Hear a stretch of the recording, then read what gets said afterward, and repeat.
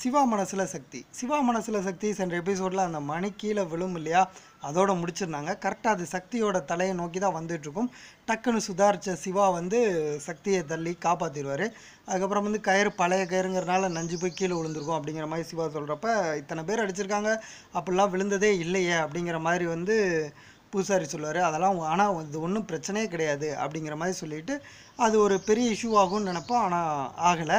ஆக்சுவலாக இது அபசகுணம் தொடர்ந்து நடந்துகிட்டு இருக்கு அப்படிங்கிற மாதிரி நித்யா சொல்லுவாங்க. ஆனால் அதுக்கு ஒரு பெரிய ஆர்குமெண்ட் போகாது. பைரவியோட தாட் என்னென்னா அந்த மணி வந்து சக்தியோட தலையில் விழுந்து ஆள் முடியணும்னு நினச்சிருப்பாங்க போல். ஆனால் அன்ஃபார்ச்சுனேட்டாக அது வந்து நடக்காமல் போயிடுச்சு அப்படின்னு நம்ம சொல்லலாம்.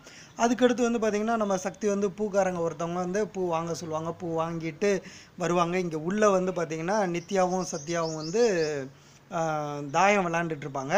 பூ கூட வைக்கலையா அப்படிங்கிற மாதிரி திட்டிகிட்டு இருப்பார் நம்ம சிவா. அந்த டயத்தில் வந்து சிவா நமக்கு வச்சு விடணும்னு வாங்கிட்டு வந்த சக்தி வாங்கிட்டு வர்ற அந்த பூவை க- கட் பண்ணி இவங்க ரெண்டு பேருக்கு வந்து கொடுத்துரு அப்படின்னு சொல்லிட்டு அதை வாங்கி கட் பண்ணுவார். கட் பண்ணி சத்யா மற்றும் வந்து நித்யா கொடுத்துட்டு மிச்சம் ஒரு இது இருக்கும். இது என்னங்க பண்ணுறது அப்படின்னு சொல்லி கேட்குறப்ப சாமிக்கு போட்டுரு அப்படின்னோடனே ஆமாம் சாமிக்கு போடுவாங்க அப்படின்னு சொல்லிட்டு சக்தி திட்டிக்கிட்டே இருப்பாங்க. அவங்க ரூமில் திட்டிகிட்டே இருக்கிறப்ப என்ன இன்னும் கையில் பூ வச்சுக்கிட்டு சுற்றிட்டு இருக்க ஈஸ்வரனுக்கு போடல? அப்படின்னோடனே நான் போடுறேன். ஆ போ போட்டுருவேன். இந்த ஹேர்பின் எடுக்க வந்தேன். சாமிக்கு ஹேர்பினா சரி கொண்டா நானே போட்டுறேன். அப்படின்னு சொல்லிட்டு அதை வாங்கி ச- சக்தியோட தலையில் பூ வச்சு விடுவார். ஸோ சக்தி என்ன எதிர்பார்த்தாங்களோ அந்த விஷயம் நடந்துடும் அதுக்கடுத்து வந்து டைனிங் டேபிள் எல்லாம் உட்காந்து சாப்பிட்டுட்டு இருக்கிறப்போ வந்து என் சைடில் யாரையாவது கூ ஒருத்தரை கூப்பிடணும் நம்ம மறந்துட்டோம் பார்த்தீங்களா அப்படிங்கிற மாதிரி. நான் அன்னைக்கே கேட்டேன் உங்கள் சைடில் யாரும் இல்லைன்னு சொன்னேன் அப்படிங்கிற மாதிரி சொல்கிறாங்க இல்லை இல்லை. இந்த ஃபங்க்ஷனே நடக்கிறதுக்கு என்ன காரணம்? என் ஃப்ரெண்டு வந்து இன்னும் ஏன் மஞ்சள் கயிறு போட்டிருக்கேன்னு கேட்டனால தானே இவ்வளோ பெரிய ஃபங்க்ஷன் வந்து நம்ம பண்ணி திரும்ப கல்யாணம் பண்ணுற ஒரு சூழலே வந்துச்சு. ஸோ அவளை போய் நம்ம நேரில் போய் கூட்டு கூப்பிடணுமா இல்லையா? அப்படின்னோடனே இல்லை தபாலில் அனுப்பிடலாம். கல்யாண வேலையே நிறையா இருக்குது அப்படின்னோடனே இல்லை நம்ம நேரில் போய் தான் கூப்பிடணும் அப்படின்னு சக்தி சொல்லிட்டு இருக்காங்க. இந்த டயத்தில் பைரவி வர்றாங்க.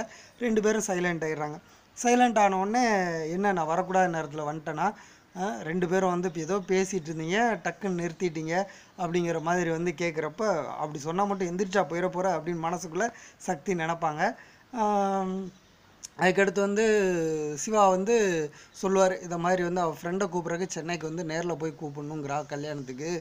அதான் போகலாமா வேணாமான்னு யோசிச்சுட்டு இருக்கோம் அப்படின்னோடனே பைரவி அப்படியே யோசிப்பாங்க. இதோட முடிச்சிருக்காங்க. அநேகமாக பைரவி வந்து சென்னை போயிட்டு வாங்கன்னு சொல்லுவாங்க. ஏன்னா பைரவியோட இப்போ தாட் ப்ராசஸ் எல்லாமே வந்து சக்தியை க்ளோஸ் பண்ணுறதுல தானே இருக்குது ஸோ சக்தியை வந்து ஆளை முடிக்கணுங்கிறனால இப்போ சென்னை போகிற வழியில் ஏதாவது ஒன்று பண்ணிடலாம் அப்படின்னு கூட பிளான் பண்ணியிருப்பாங்க ஸோ அப்படி தான் இருக்கும் நான் நினைக்கிறேன்.